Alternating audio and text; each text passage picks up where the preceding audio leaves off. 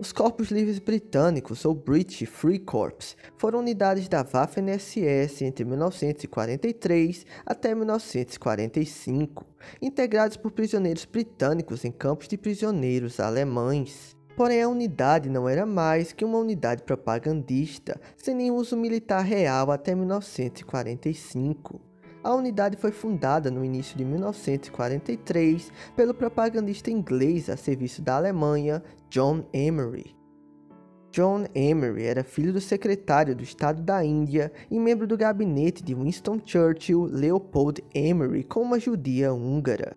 Logo após seu fracasso na vida dos negócios após uma série de empreendimentos, Emery, um convicto anticomunista, abraçou as doutrinas nacional-socialistas da Alemanha. Emery passou a se tornar um ativista pró-Alemanha, buscando angariar apoiadores em meio aos ingleses. Na Inglaterra já existiam grupos de extrema direita que apoiavam o regime alemão, como a União Britânica dos Fascistas, fundada por Oswald Mosley, também conhecidos como Camisas Negras.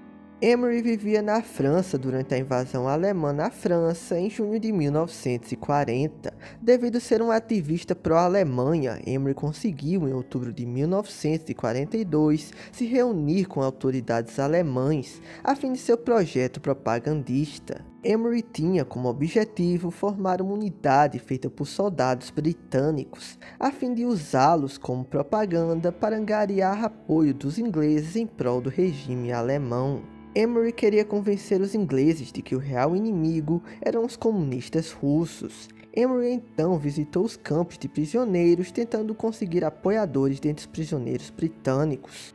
John Emery convenceu de que eles não estariam traindo a Inglaterra e a coroa britânica, mas sim defendendo a Europa do comunismo, e que eles apenas combateriam no fronte oriental.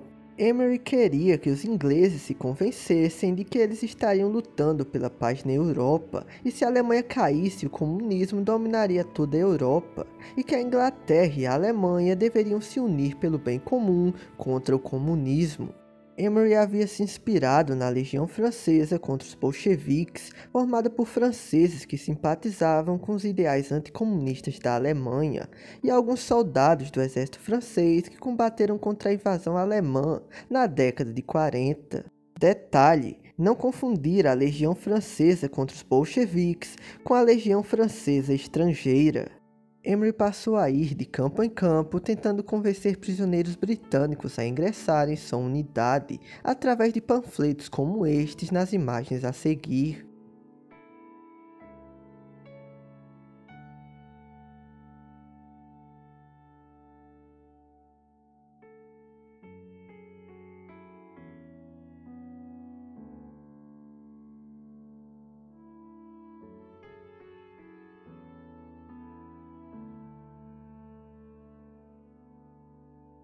Este panfleto possui a argumentação mencionada anteriormente sobre as intenções de Emery para a unidade. A unidade chegou a ter em seu total 52 britânicos, porém nunca maior que 27 ao mesmo tempo, já que grande parte de seus membros não duravam muito tempo. Aliás, muitos dos soldados dessa unidade eram na verdade ex-membros da União Britânica dos Fascistas e movidos por um anticomunismo patológico ex-criminosos e até jovens estúpidos que queriam apenas sair dos campos de prisioneiros e queriam apenas vida fácil e não tinham nenhuma simpatia ideológica pela Alemanha. Muitos eram pegos roubando ou bebendo, e na maior parte do tempo, quando foram enviados ao campo de treinamento em Dresden, não demonstravam interesse no treinamento e sentiam dificuldades em se comunicar com seus superiores, já que muitos não falavam alemão fluentemente. Em 1943, a Waffen-SS considerou Emery não mais necessário na unidade, que era conhecida como Legião de São Jorge, e passou a se chamar British Free Corps, ou Corpos Livres Britânicos. Era a intenção inicial dos alemães de colocar a unidade sob o comando de algum oficial britânico para os corpos livres britânicos, que seriam as pontes entre a unidade e o comando central da SS. Porém apenas três oficiais alemães da SS comandaram a unidade, entre eles o Hauptsturmführer Hans Werner Hopke, que havia morado nos Estados Unidos e falava inglês fluentemente, até mesmo era grande simpatizante da cultura britânica. Em março de 1945, as tropas russas continuavam avançando pela Alemanha e os corpos livres britânicos precisavam dar sua colaboração, ajudando a defender a Alemanha do avanço russo. Para isso, eles foram anexados ao 51º Divisão Panzergrenadier Norland, sob o comando de Joachim Ziegler, anexado ao 3º SS Panzerkorps, sob o comando do Obergruppenführer Felix Steiner, sendo sempre realocado para vários batalhões, tendo ficado sob as ordens do Sturmbannführer Rudolf Salzbach e do sueco Obersturmführer Hans Gesta Persson. Em 16 de abril de 1945, o British Free Corps se junta à empresa de transporte do QG de Steiner, trabalhando com transporte por alguns dias. Em 29 de abril de 1945, Steiner decidiu render suas unidades e os corpos livres britânicos aos americanos. Após a Segunda Guerra Mundial, muitos foram presos e julgados por alta traição, tendo muitos sido condenados à prisão, porém passaram pouco tempo presos, sendo libertados com alguns anos de prisão. Muitos se mudaram para países como Austrália e Nova Zelândia, e muitos retornaram para a Inglaterra. Muitos dos membros, quando questionados sobre sua colaboração com o inimigo, eles argumentaram que foram convencidos por Emery e que aceitaram apenas para sair dos campos para tentar fugir ou sabotar a unidade dos Corpos Livres Britânicos. O uniforme dos Corpos Livres Britânicos possuía em sua gola o escudo britânico abaixo da águia alemã, abaixo do escudo britânico o nome British Free Corps em inglês numa lista preta, e uma fita com três linhas representando as cores da Inglaterra, Alguns membros do grupo conseguiram usar o escudo da Inglaterra acima da águia alemã. Nessa imagem nós vemos ao centro sorrindo Alfred Minchin. Minchin foi um marinheiro britânico que foi capturado por um destroyer alemão na Noruega. Devido ao seu envolvimento com o British Free Corps, ele foi sentenciado a sete anos de servidão penal por conspiração com o inimigo. Alfred Mint morreu em 1998 em Somerset, na Inglaterra, aos seus 81 anos de idade. Outro membro de destaque foi Thomas Heller Cooper, que ao contrário dos outros membros do British Free Corps, Heller já era membro da SS e não um prisioneiro.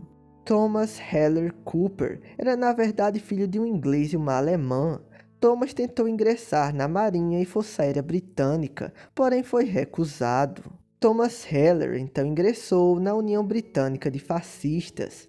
Thomas, também conhecido como Tom Butcher, se juntou de 1 de fevereiro até julho de 1940 à SS. Thomas pertenceu à primeira divisão SS Panzer Leibstandarte, em julho de 1940, ele foi transferido para a 8 Companhia do 5 Regimento de Infantaria Totenkopf até fevereiro de 1941. Seu regimento foi mandado para a Polônia ocupada para fazer a segurança e treinamento na área de treinamento de Debica, perto de Cracóvia. Promovido a SS Unterscharführer em novembro de 1941, Cooper estava envolvido com o Holocausto por ter matado em um dia oito pessoas, entre mulheres e crianças judias. Em fevereiro de 1943, ele foi ferido enquanto combatia contra o Exército Vermelho, sendo condecorado com o distintivo de ferido, sendo transferido para o British Free Corps. Em novembro de 1944, ele foi preso por crimes hediondos antinazistas e passou os próximos seis meses trabalhando para a Feldjäger Korps. A Feldjäger Korps era uma espécie de polícia militar do Wehrmacht. Em 2 de maio de 1945, Cooper se rende ao 51º Regimento de Infantaria dos Estados Unidos. Cooper foi liberto em janeiro de 1953, depois migrou para Tóquio, no Japão. Cooper converteu-se ao budismo e tornou-se professor de línguas. Thomas Cooper retornou à Inglaterra e morreu no início de 1987 aos 67 anos, embora alguns afirmem que ele morreu no final dos anos de 1990. Quanto a John Emery, em outubro de 1943, a SS decidiu que Emery não era mais necessário na British Free Corps Emery então viajou para o norte da Itália no final de 44 para apoiar a República de Salò, que se mantinha leal ao ditador Benito Mussolini. Em 25 de abril de 1945, Emery e sua amante Michelle Thomas são capturados em Como, na Itália, pela Brigada Garibaldi. Eles seriam executados pela Brigada Garibaldi, porém eles foram entregues aos ingleses, onde eles foram presos pelo capitão Alan Wicker, que mais tarde se tornaria apresentador de TV na Inglaterra. Em seu julgamento, Emery se declarou culpado por oito acusações de alta traição, para espanto de todos, imediatamente condenado à morte. Um mês depois, em 19 de dezembro de 1945, John Emery é enforcado. Em um epitáfio de seu pai em The Empire at Bay, o diário de Lew Emery, 1929 até 1945, ele diz: No final de seus dias rebeldes, ele encontrou uma causa. Não era de seu país, só o tempo pode dizer se aquele desafio de nossas leis antigas foi traição ou presciência, ele dorme bem. A British Free Corps não foi a única força militar alemã composta por estrangeiros. Outros exemplos são o Exército de Libertação Russa, que era formado por ex-soldados soviéticos capturados por alemães, colaboradores e ex-veteranos do Exército Branco Russo anticomunista da Guerra Civil Russa. Assim como Emery, o Exército de Libertação Russa tinha Andrei Vlasov como líder. Até mesmo portugueses e espanhóis lutaram pela Alemanha na Divisão Azul, que combateu no fronte oriental. Além destes, voluntários de toda a Europa, como da Escandinávia, França, Holanda, Romênia, Mongólia e alemães que viviam em outros países e eram considerados etnicamente alemães, além de não arianos que não eram brancos ou europeus, como indianos, árabes, africanos, muçulmanos e até mesmo alguns judeus. Bem pessoal, esse foi o vídeo de hoje. Se gostaram do vídeo, curtam, comentem, compartilhem e se inscrevam no canal para apoiar o nosso projeto. Caso o vídeo tenha lhe agradado, recomendo assistir os vídeos do meu canal. Então por hoje é só. Então, fui!